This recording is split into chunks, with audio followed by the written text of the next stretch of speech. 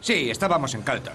Y un pureta hijo de puta blanco y su mujer aparecen. Y me dice, joven, ¿sabes dónde está la casa de Poe? Y le digo, tío, ¿me puteas? Cualquiera, elígela.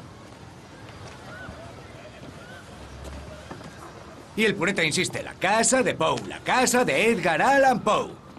Ah, mierda, ¿ya vuelves? Hola. Primero de mes. Hola. Y yo le digo, no conozco a Edgar Allan Poe. Y el tío se me queda mirando con cara de flipado y como jodido.